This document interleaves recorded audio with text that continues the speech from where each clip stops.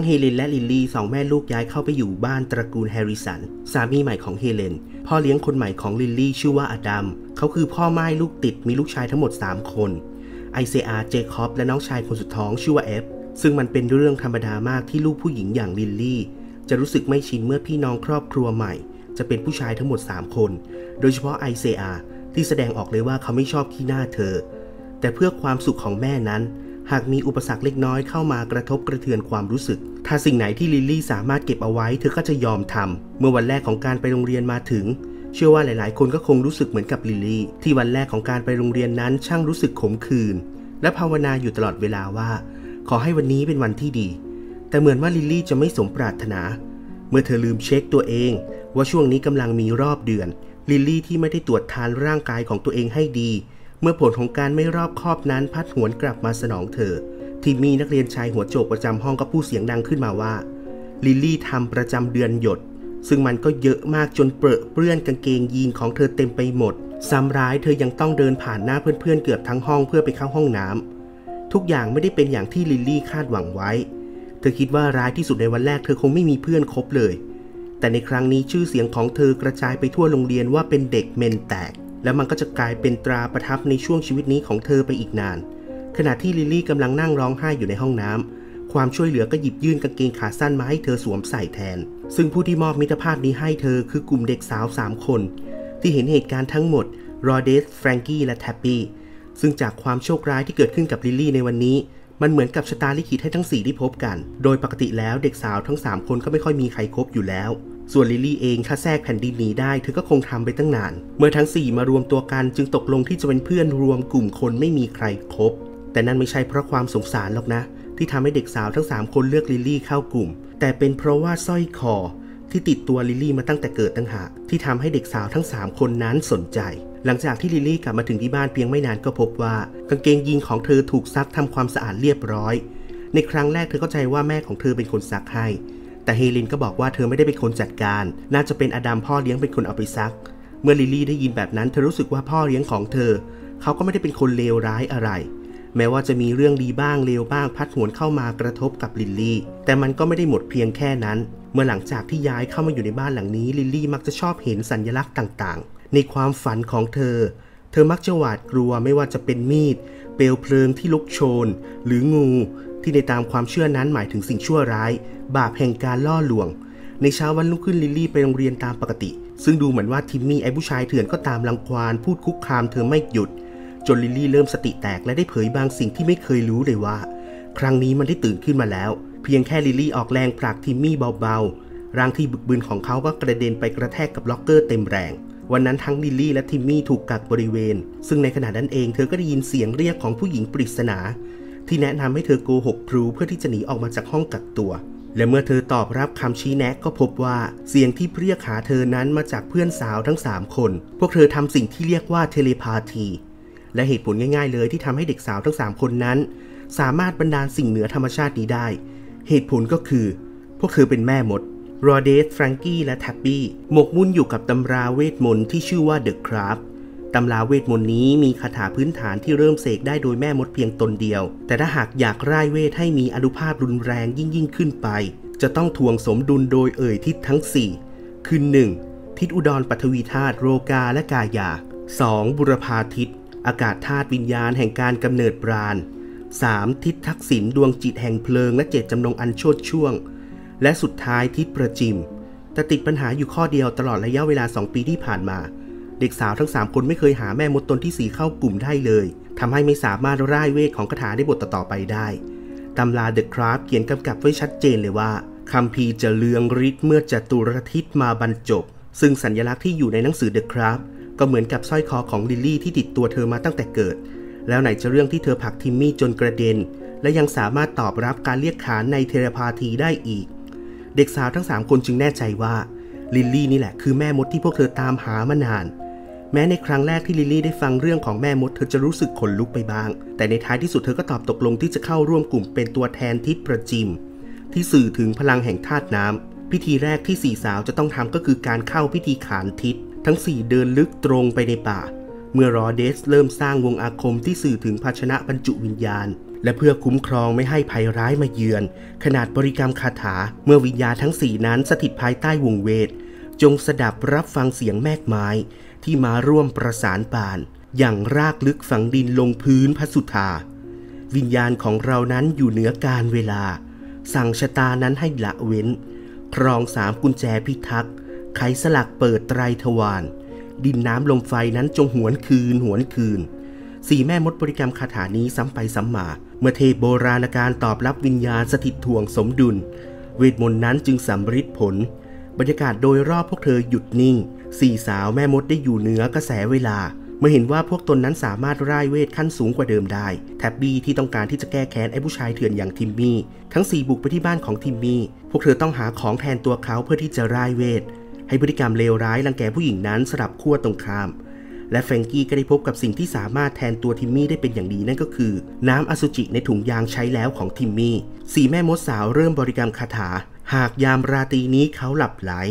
เมื่อทิวามาเยือนเขาจะอยู่ในด้านของผู้เจริญ เมื่อผู้เป็นตัวแทนขานทิศสถิตประจำตำแหน่งนั่นหมายความว่า ทั้งสี่แม่มดจะสามารถร่ายเวทได้ขั้นสูงขึ้น พวกเธอใช้เวลาอยู่ด้วยกันและเริ่มร่ายคาถาตามคัมภีร์แม่มด พวกเธอเริ่มถล่ำลึกไปกับรสชาติแห่งความอาถรรพ์โดนบันดาลทุกสิ่งทุกอย่างตามที่ใจปรารถนา แต่จนแล้วจนรอด ชีวิตของลิลลี่ในช่วงนี้ก็ไม่ได้มีแต่สิ่งแปลกใหม่พัดหวนเข้ามาเพียงอย่างเดียว เมื่อในคืนหนึ่งเธอถูกตำหนิจากพ่อเลี้ยงของเธออดัม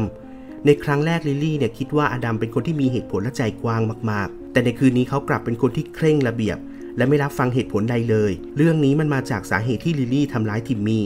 ซึ่งอดัมไม่ยอมรับฟังเหตุผลของเธอ แต่ตำหนิลิลลี่ยกใหญ่ ทำให้ความรู้สึกของเธอที่มีต่อพ่อเลี้ยงนั้นเปลี่ยนไปโดยสิ้นเชิง เมื่อเช้าวันรุ่งขึ้นมาเยือนขนาดอยู่ในห้องเรียนเหมือนว่าเวทมนต์ที่สี่แม่มด สลับคู่ให้กับพฤติกรรมของทิมมี่ก็เริ่มสำแดงเดชเมื่อเขากลายเป็นคนที่มีเหตุผล ให้เกียรติเพื่อนๆที่เป็นผู้หญิง เริ่มต่อต้านพฤติกรรมของเพื่อนชายที่เห็นว่า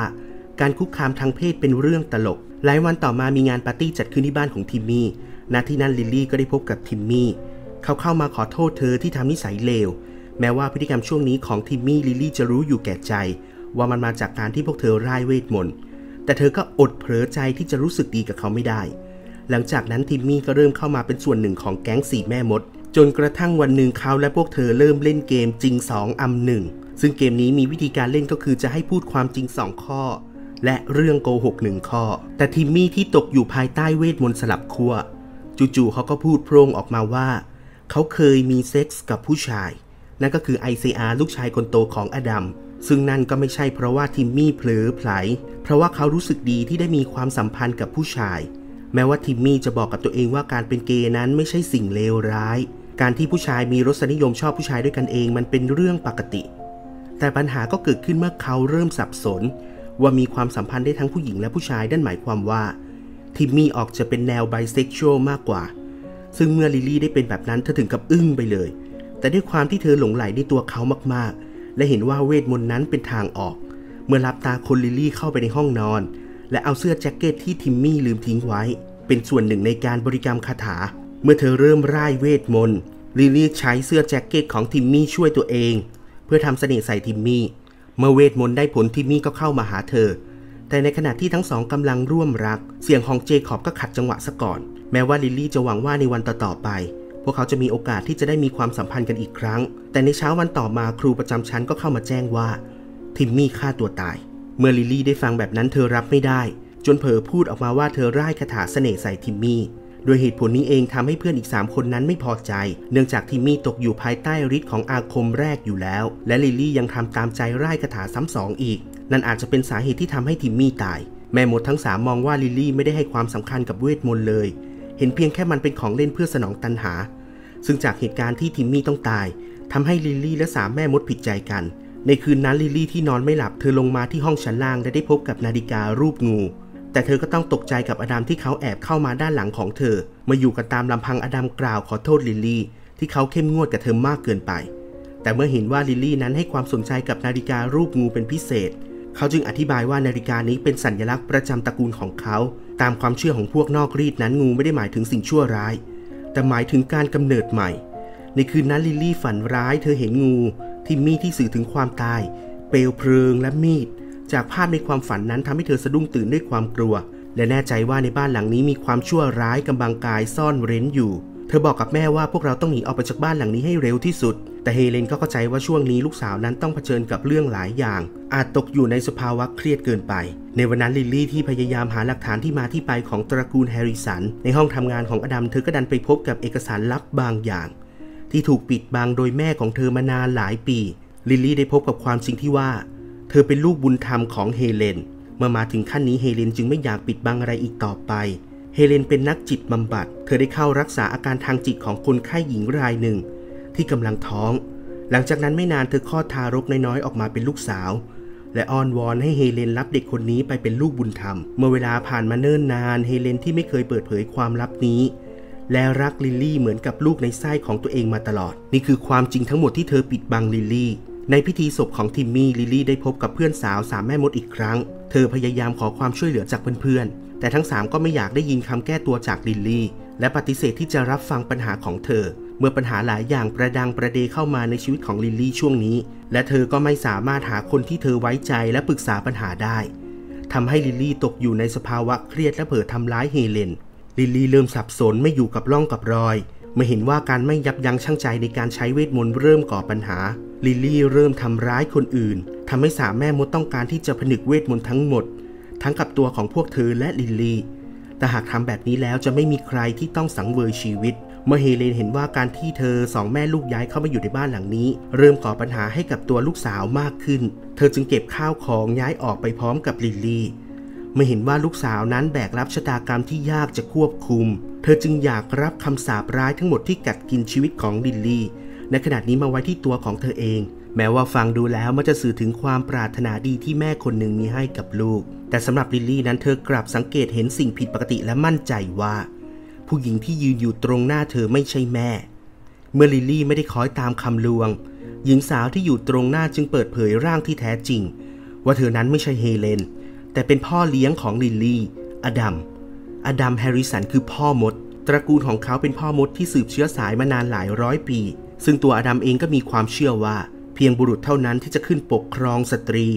แม่มดไม่อาจควบคุมอำนาจที่มหาศาลได้ และไม่ควรที่จะได้รับ อดัมเป็นพ่อมดที่มีแนวคิดเหยียดผู้หญิง เมื่ออยู่ในคราบของมนุษย์เขาเลือกที่จะเป็น life coach เพื่อคอยยัดเยียดความเชื่อให้กับเหล่าบุรุษ ว่าอย่าอ่อนแอเหมือนกับสตรี เมื่อใดที่ผู้ชายอ่อนไหวเมื่อนั้นพวกเขาสมควรตาย และแนวคิดนี้เองก็ทำให้อดัมลงมือสังหารทิมมี่แท้จริงแล้วทิมมี่ไม่ได้ตายจากสาเหตุโดนคาถาซ้ำซ้อน แต่เขาตายเพราะว่าเนื่องจากไปทำตัวสนิทกับพวกของลิลลี่ซึ่งอดัมไม่รู้ว่าเขาตกอยู่ภายใต้อาคมสลับขั้วพ่อมดอดัมมีชีวิตอยู่ด้วยการดูดกลืนพลังของแม่มด ซึ่งมีกฎอยู่เพียงข้อเดียวว่า แม่มดนั้นต้องยอมยกอำนาจทั้งหมดให้แก่ผู้ที่ต้องการ เขาจึงเลือกเข้าทางเฮเลนเพื่อช่วงชิงพลังของลิลลี่ นั่นหมายความว่าถ้าหากลิลลี่นั้นเป็นแม่มด แล้วเฮเลนคือแม่บุญธรรม แม่ที่แท้จริงของลิลลี่จึงต้องเป็นแม่มด ซึ่งอดัมก็รู้เรื่องนี้มาโดยตลอด แต่สิ่งที่สำคัญยิ่งนั้น เขาก็เคยดูดพลังของแม่ลิลลี่มาเป็นของตน แม้ลิลลี่จะเป็นแม่มด แต่ในครั้งนี้เธอไม่อาจร่ายเวทเพื่อคุ้มกันตัวเองได้ เพราะเพื่อนสาวสามแม่มดใช้คาถาผนึกเวทแต่เมื่อเข้าตาจนความช่วยเหลือก็ปรากฏ เมื่อก่อนหน้านี้วิญญาณของทิมมี่สื่อสารผ่านกระดานเรียกผี ว่าสาเหตุการตายนั้นเขาถูกอดัมฆ่า เมื่อต้นเหตุที่แท้จริงนั้นปรากฏนั่นหมายความว่าทั้งสามแม่มดคิดผิด ว่าเพื่อนอย่างลิลลี่นั้นทำให้ทิมมี่ต้องตาย ทั้งสามย้อนกลับมาช่วยลิลลี่ แม้ว่าพวกเธอจะสามารถสร้างโอกาสให้ลิลลี่รอดพ้นจากเงื้อมือของมารร้าย แต่นั่นก็ไม่เพียงพอที่จะโค่นพ่อมดที่เรืองฤทธิ์อย่างอดัมได้มีเพียงหนทางเดียวที่จะสามารถร่ายเวทศักดิ์สิทธิ์เพื่อทำลายล้างสิ่งชั่วร้าย ทั้งสี่เริ่มบริกรรมคาถา วิญญาณนั้นจะสถิตอยู่ประจำจตุรทิศ เพียงพริบตาสายอัศนีบันดาลเกิดเปลวเพลิง แผดเผาร่างพ่อมดผู้ชั่วร้ายอย่างอดัมจนสิ้น เมื่อฝันร้ายพัดผ่านไป ก็ถึงช่วงเวลาที่ชีวิตของลิลลี่จะเริ่มต้นใหม่ เฮเลนได้พาลิลลี่ไปสถานบำบัด เพื่อให้ลูกสาวได้พบกับแม่ที่แท้จริง แม่ของลิลลี่ชื่อว่าแนนซี่ดาวส์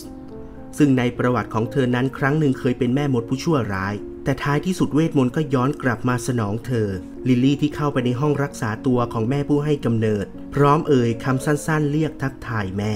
และแนนซี่ก็หันกลับมามองลูกสาว ที่พัดพรากของเธอ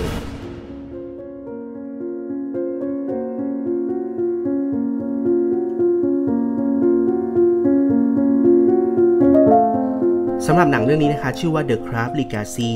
วัยร้ายร่ายเวท เป็นหนังในปี 2020 หนังเรื่องนี้นะคะเป็นภาคต่อของหนังแม่มดในตำนานเรื่องหนึ่ง ที่ออกฉายในปี 1996 และมีตัวละครหนึ่งเดียวที่มาโผล่อยู่ในปี 2020 นะคะนั่นก็คือแม่ของลิลลี่แนนซี่ดาวนั่นเอง ต้องบอกว่าหนังในปี 2020 เรื่อง The Craft Legacy เนี่ย มันเป็นภาคที่สร้างขึ้นใหม่ ไม่ได้เป็นภาครีเมค ในตอนแรกเนี่ยเราคิดว่ามันเป็นภาครีเมคนะ แต่ทำไปทำมาเนี่ยมันเป็นภาคเออเขาเรียกว่าไง เป็นภาคต่อ ด้วยความที่ว่าภาคแรกเนี่ย ถ้าใครเคยดูเนี่ยจะรู้เลยว่าเขาทำไว้ดีมาก ๆ เป็นหนังที่แม้ว่าจะผ่านมา 25 ปี ถ้าใครย้อนกลับไปดูนะตอนนี้เนี่ย เนื้อเรื่องก็ยังรู้สึกว่ามันมีความสดใหม่ยังสนุก มันคือหนังแม่มดโดยแท้ แต่พอมาดูปี 2020 เนี่ยเอ่อเนื้อเรื่องมันค่อนข้างงง ประเด็นมัน มันเหมือนถูกจัดวางไว้ไม่ถูกที่ถูกเวลา อย่างเช่นเรื่องของทิมมี่เนี่ยเราบอกเลยนะเราชอบมากเลยพอทิมมี่บอกว่าเขาเคยมีความสัมพันธ์กับผู้ชายมาก่อนอะไรเงี้ย มันก็เฮ้ยมันดูมีความแบบมันดูมีอะไรอะ่ะ แล้วก็พอมาอดัม อดัมที่ตอนแรกเนี่ยดูเออเป็นคนใจดี แต่ธรรมดามาก็กลายเป็นคนเออเข่งกฎเข่งระเบียบอะไรเงี้ย เรารู้สึกว่าเฮ้ยมันน่าสนใจ พอไปตัดให้อดัมตายเนี่ยคืออะไรอะไรเหรอ ก็คืองงไปเลย เรารู้สึกว่าเเรื่องนี้เนี่ยมันจะแม่มดมันก็แม่มดไม่สุด จะดราม่ามันก็ดราม่าไม่สุดอะแล้วไม่ค่อยมีฉากที่ใช้เวทมนต์ให้เรารู้สึกว่า เป็นแม่มดที่ทำออกมาในฉบับภาพยนตร์อะซึ่งถ้าดูรวมๆนะ ถามในความคิดเห็นของเราเนี่ย เรารู้สึกว่ามันเหมือนซีรีส์มากอะ มันไม่ใช่เหมือนกับหนังเข้าโรงอะ่ะ เออ เรารู้สึกแบบนี้ ซึ่งทั้งเรื่องเราบอกเลยนะว่าเราไม่ค่อยเข้าใจ กลุ่มของสี่แม่มดเลยอะ่ะพวกเธอไม่ได้มีเสน่ห์หน้าดึงดูด เรากลับชอบตัวละครที่ชื่อทิมมี่มากกว่า แล้วชอบนักแสดงที่มาแสดงเป็นทิมมี่นะ เวลาที่เขาแสดงในช่วงแรกเนี่ยเป็นบทร้ายๆเนี่ย เราก็รู้สึกว่าเอ้ยไอคนนี้เนี่ยมันดูหน้ามันไส้ดี แต่พอเขามาถูกคาถาสลับขั้วต้องมาแสดงเป็นพวกที่เออเขาเรียกว่าไงอะไม่ต่อต้านสังคมอะเป็นแบบที่หลาย ๆ คนต้องการอะไรอย่างเงี้ยเป็นคนดีว่างั้นเถอะ เขาก็แสดงออกมาได้น่าสงสาร ทุกคนต้องไปดูฉบับภาพยนตร์เต็มนะคะ เราชอบตอนที่เขายอมรับว่าเขาชอบผู้ชายนะอะไรเงี้ยแล้วเขาเริ่มร้องไห้อะไรเงี้ยเราว่า acting เขาดีนะคะแล้วก็ถ้าใครนะคะที่ไม่เข้าใจในบทที่เราเล่าไปเลยเนี่ยเราแนะนำนะคะให้ย้อนกลับไปดูฉบับภาพยนตร์เต็ม แม้ว่าส่วนตัวเราเนี่ยอาจจะไม่ได้ชอบหนังเรื่องนี้มาก แต่เรารู้สึกว่ามันเป็นเพียงแค่ความคิดเล็กๆของเรา เราเชื่อว่าถ้าใครที่ไปดูเนี่ยอาจจะชอบก็ได้ เราแนะนำเป็นอย่างยิ่งเลยนะครับสำหรับหนังเรื่อง The Craft Legacy ถ้าใครอยากรู้รายละเอียดมากกว่าในคลิปที่ทุกคนฟังไป แล้วก็เพื่อไม่คลิปนี้ยาวเกินไปอย่าลืมกดไลค์กด subscribe เป็นกำลังใจให้เราด้วยนะคะ คลิปนี้เราต้องลาไปก่อนขอบคุณมากนะคะที่เข้ามาดูคลิปเรา ขอบคุณมากค่ะ